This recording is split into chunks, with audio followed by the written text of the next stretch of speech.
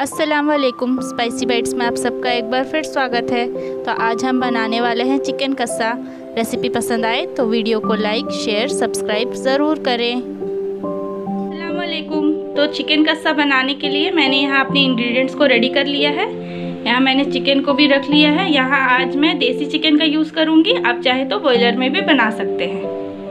तो यहाँ हमने अपने पैन को हीट कर लिया है। अब हमें इसके अंदर ऑयल डालना है।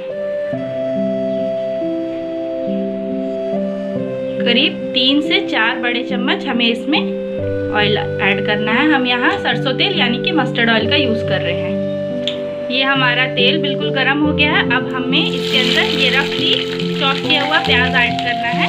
अगर आपके पास छोटे प्याज है तो आप तीन ले, चार ले लें और अगर बड़े साइज़ के प्याज है तो तीन ले लें।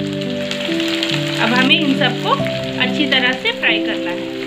देखिए, हमें प्याज को इस तरह से अच्छे से गोल्डन ब्राउन होते तक का फ्राई करना है। देखिए, हमारा प्याज अच्छी तरह से फ्राई हो गया है। अब हमें इसमें जिंजर गार्लिक का पेस्ट यानी कि अदरक लहसुन का पेस्ट डालना है। इसमें हमने चार से पाँच हरी मिर्च भी पीस ली है। आप अगर ज़्यादा तीखा नहीं खाते तो कम या ज़्यादा कर सकते हैं। ये करीब तीन से चार बड़े चम्मच जिंजर गार्लिक का पेस्ट है। अब हमें इसे भी प्याज के साथ फ्राई करना है। अब इस स्टेज पर हमें इसमें अपने प्याज का पेस्ट भी ऐड करना है। अगर छोटे प्याज है तो दो प्याज को ऐसे पेस्ट कर लें, और अगर एक प्याज है, बड़ा प्याज है तो एक ही आप ले सकते हैं। इसे हमें फाइन पेस्ट नहीं करना है। देखिए प्यूरी पूरा फाइन नहीं होगा। ऐसे हल्का दरदड़ा पीसना है। अब हमें इसके साथ भून देना है। अब हमें इसमें अपने मसालों को ऐड करना है। ये दो बड़े चम्मच धनिया पाउडर दो दो बड़े चम्मच ज़ीरा पाउडर।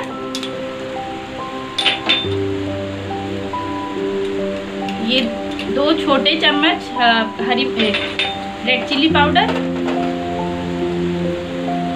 ये एक छोटा चम्मच ब्लैक पेपर, यानी कि गोल की पाउडर। इसमें एक चम्मच के करीब हल्दी ऐड करना है। उसके बाद ये आधा चम्मच गरम मसाला पाउडर। अब हमें इसमें अपने टेस्ट के अकॉर्डिंग सॉल्ट ऐड कर देना है।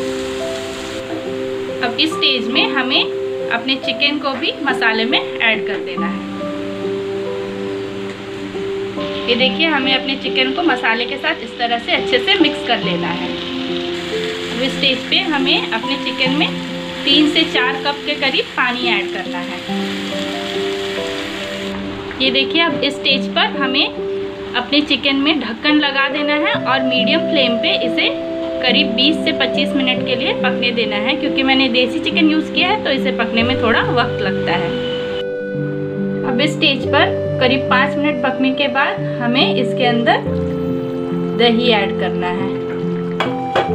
ये हमने दो छोटे चम्मच दही ले लिए हैं। इसे ऐड कर दें। और यहाँ आठ से दस काजू को थोड़े से पानी के साथ ऐसे प्यूरी बना दिया है, उसे भी ऐड कर ले, इससे भी बहुत अच्छा फ्लेवर आएगा। अब हमें इन सबको अच्छी तरह से मिक्स कर लेना है। अब इसे फिर से ढक्कन लगाकर अच्छी तरह से और 15-20 मिनट के लिए पकने दें। ये देखिए, हमारा चिकन अच्छी तरह से पक चुका है अब। हमें इसे मीडियम फ्लेम पे करीबन पाँच मिनट के लिए अच्छी तरह से भून लेना है। हमने अपने मसाले को शुरू में नहीं भुना था, इसीलिए अपने चिकन को अच्छी तरह से मसालों के साथ पकने दिया। अब हमें इसे लास्ट में अच्छे से भूनना है धीमी आँच में। ये देखिए, हमारा चिकन बनकर बिल्कुल तैयार हो गया है। अब स्टेज पर हमें अपने गैस को ऑफ़ कर लेना है। अब थोड़ा सा कोरिएंडर लीव्स यानी कि धनिया पत्ता डालकर गार्निश कर देंगे। अब हमें इसे बाउल में निकाल लेना है।